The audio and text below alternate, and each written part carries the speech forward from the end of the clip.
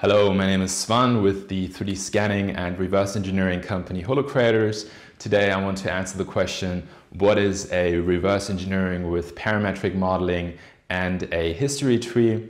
Well, with this reverse engineering technique, we can convert a 3D scan into the native CAD format of the client, so directly into the CAD system with which the client is working. The uh, entire history tree is included inside the model and can be modified. So this is not a copy of this part, but it's much more an um, optimized and idealized version. So manufacturing defects are uh, corrected and it's much more the attempt to um, uh, go back to the original design intent of the part. I want to make an example. Imagine the client is working in the CAD system FreeCAD. So we now we would do a reverse engineering of the 3D scan in FreeCAD and create the parametric model. And then we would export the files in the native CAD format of FreeCAD, which is uh, .fcstd. So the client would be able to import this fcstd file into his FreeCAD and he would have access to the entire history tree.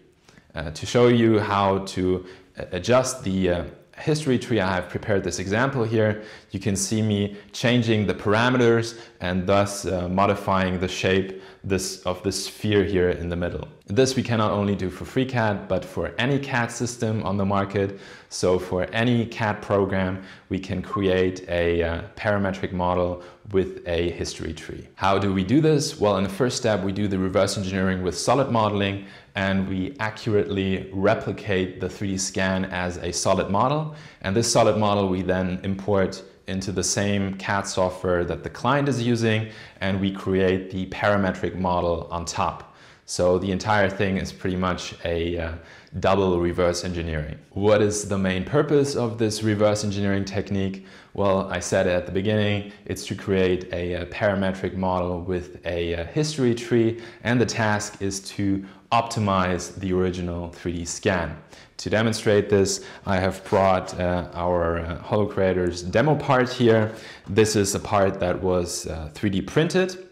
And what we did next is we made a, a, 3D scan of this part. You can see there in the video, uh, we used the uh, GOM core scanner, that's a structured light scanner, and scanned the part.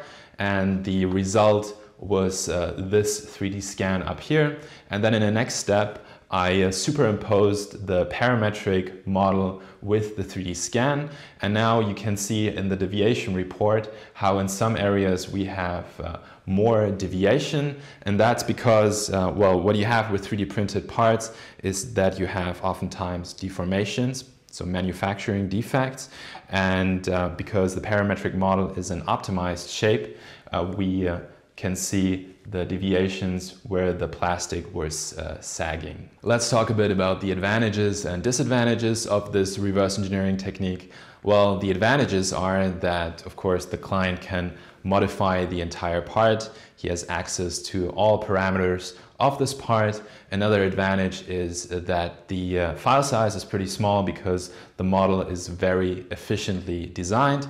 And also we have the option to export a technical drawing from the parametric model.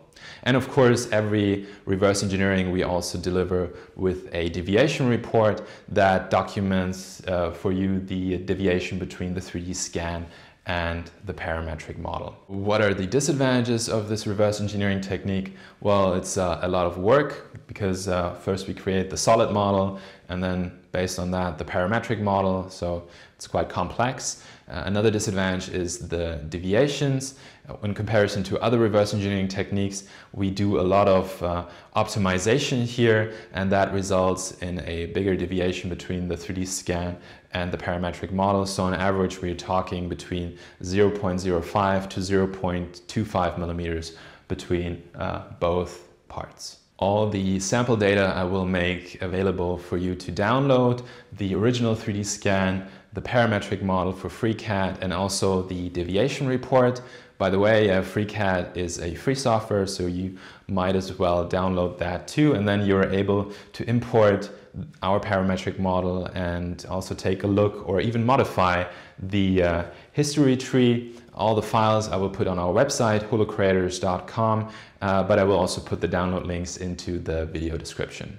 Let me do a quick recap. So the reverse engineering with parametric modeling and a history tree creates a parametric CAD model in the same CAD software that the client is using. So the client will be able to just import it and uh, alter the entire history tree. Um, so it's therefore ideally suited if you want to have full control, uh, but also if you need an optimized part or a, a part uh, with a technical drawing. We make this reverse engineering for any CAD software on the market. So for any CAD software on the market, we will provide you with a uh, native CAD format that you can directly import into your CAD software. And also with every uh, reverse engineering, we will provide a deviation report that shows you the deviation between the original 3D scan and the parametric model so you can uh, check the accuracy of our work. Like I said at the beginning, HoloCreators is a 3D scanning and reverse engineering company.